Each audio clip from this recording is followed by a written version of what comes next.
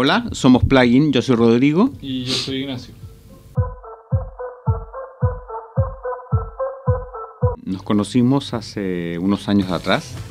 Em, yo estaba trabajando en una producción y necesitaba un cantante eh, y me presentaron a Ignacio, o sea, me, hablaron de él. Yo lo fui a ver y, mm, bueno, después nos comunicamos, nos juntamos y empezamos a trabajar en esa producción y gracias a eso, digamos, que nos conocimos, eh, empezamos a hablar de música, empezamos a hablar de los gustos, de, hacer música juntos, hasta que empezamos a trabajar en eso y, bueno, y, ahí salió, salió el grupo. El débil el que busca algo escrito. Tiene que ver con que todo lo que hacemos está muy enchufado, eh, es muy usamos muchas cosas electrónicas, eso por una parte, y por otra parte también eh, cuando trabajamos dentro de los programas de, no sé, de edición musical y todo eso, hay como subprogramas que se llaman plugin también, entonces como, como ese, ese doble significado.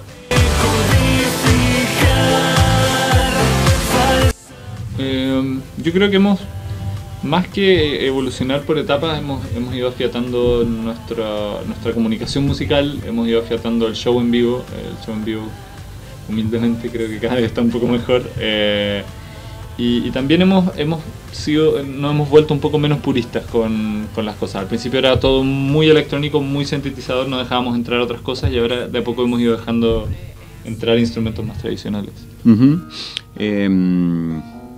Sí, hemos pasado por, eh, por, como por varias etapas, como un proceso de crecimiento, por así decirlo. ¿ah? Mm, y, claro, hemos tenido guitarristas también en algún momento, tocamos con guitarristas, em, hemos cambiado varias veces el set, eh, y, bueno, y todo eso como acomodándose cada vez mejor a nosotros, a, qué queremos realmente, a cómo nos sentimos más que nada, ¿ah? cómo nos sentimos mejor lejos de acá. No puedes ni quieres cambiar.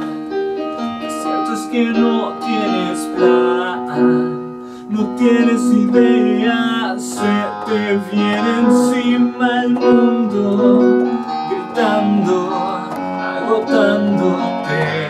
No sabes cómo hacer, gritando, cansado de preocupación infantil, su relativismo moral. Sabes cómo decir que no, decir que no.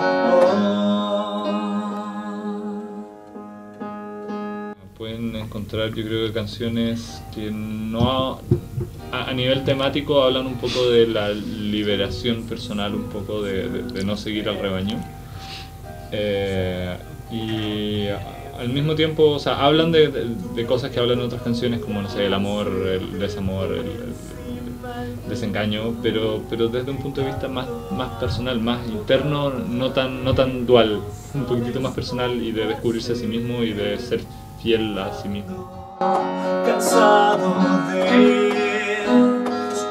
Porque estamos viviendo una época... Eh, en que eh, estamos viviendo, claro, procesos de cambio, eh, pero son cambios que, a ver, em, para nosotros serán cambios, pero a lo mejor para los demás no pueden ser tanto cambio. ¿ah? Para nosotros, por ejemplo, el, meter una guitarra acústica o el meter un violino o el meter esto, eh, significa un cambio importante. A lo mejor para, para los demás no es tanto cambio. Ah, pero para nosotros sí era importante eso, eh, estar experimentando con instrumentos acústicos, por ejemplo, mezclados con los sintetizadores. Eso ya era un cambio. Veníamos además también de, de lo que te contaba un poco antes, de, ir probando con un guitarrista, sin el guitarrista, con esto, sin esto. ¿ah? Entonces era como un proceso de cambio. El proceso de, composición... Mm, empieza, empieza Ignacio, empiezo yo. Ese sí es muy personal. es muy personal y de hecho no lo hacemos juntos. Lo hacemos por separado. Eh, bueno, el que empieza, ¿no es cierto?, le manda la idea al otro y el otro trabaja y se la devuelve y así nos llevamos en este ping pong, en este ir y venir hasta que la canción ya está armada. Pero lo hacemos por así, por correo electrónico. Onda. Claro. eh, nos vemos, nos juntamos igual a ensayar las canciones que ya existen, nos juntamos a conversar, nos juntamos a hacer planes para la banda, pero... pero No, claro, hay un- A componer no nos juntamos hasta que la canción ya está como medio terminada. Sí, o sea, hay un momento que, claro, que la canción ya está medio terminada. bueno, eh, pod- podríamos acortar esta parte en vez de que sea eh, tantos compases, ¿por qué no lo dejamos en dos compases? ¿O por qué no sacamos este instrumento de aquí? Y ahí empezamos a ¿no? maquillar un poquitito y, y esos son los arreglos que hacemos juntos. ¿eh? Pero eso es muy al final. Es muy al final, ¿Y- sí. ¿Y, y por, por qué, por, por qué no funciona esta forma de trabajar? Porque en el fondo es un poco como... Se convierte en un juego un poco, como...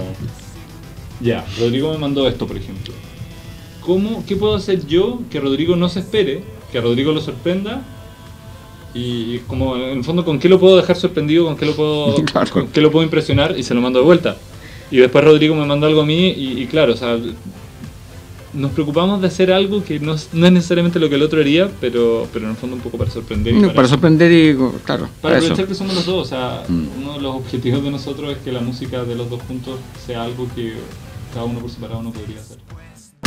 Horas de buscar motivos. Bueno, somos los dos. Em, yo toco los teclados, eh, manejo, no sé, toda la secuencia. Ignacio canta y, y tiene su, su laptop con, con las visuales, con el manejo de las cámaras, porque tenemos dos, cada- una cámara cada uno también.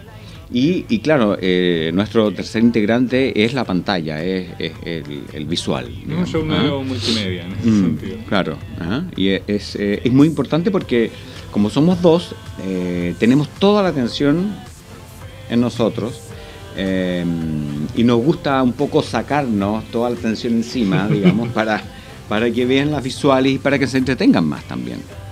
Es un poco eso que tienes que llevar en vivo, que tiene que sorprender, que tiene que... mm, que tiene que tener algo un poquitito distinto para que la gente se cautive y te escuche. Tenemos en Madrid el día 12 eh, de diciembre, la sala ya está junto con la banda Ratio. Ellos van a estar lanzando un disco, nosotros vamos a estar lanzando el nuestro para España, así que es perfecto. Eh, en Barcelona todavía no tenemos nada, pero estamos cerrando algo para febrero o marzo. Nada significa nada. Sí, estuvimos aquí en julio, eh, en el verano, eh, invitados por unos amigos que tienen una banda también, eh, son españoles y tuvieron una banda eh, que empezó en los 80, y fueron muy conocidos en Chile. Bueno, y ellos querían tocar aquí aquí en, en Madrid, nos invitaron también a nosotros. Y gracias a eso, digamos que nos surge la idea de, de- de- de venir para acá y trabajar acá y hacer promo un rato y ver cómo, cómo andamos aquí. Claro, nunca estuvo en, lo- en los planes originalmente porque, claro, España es, o sea, es, un, es un salto grande igual. Eh, entonces no, no estaba en, nuestros planes y vinimos a hacer puntualmente ese show y fue como, "Mm, aquí la cosa funciona, Mm. la respuesta fue muy buena, tocamos en Madrid, después tocamos en Barcelona y, y en general la respuesta fue, fue positiva. Bueno, la página web de nosotros es thepluginmusic.com, eso es T-H-E-P-L-U-G-I-N music.com. Eh, y ahí están todas nuestras redes como sincronizadas ahí, pero tenemos, eh, usamos el Twitter, eh, arroba thepluginmusic. Y si buscas plugin en Facebook somos uno de los primeros resultados que aparece. Se nota ahí porque es como la portada del disco y todo. El moral No sabes cómo decir no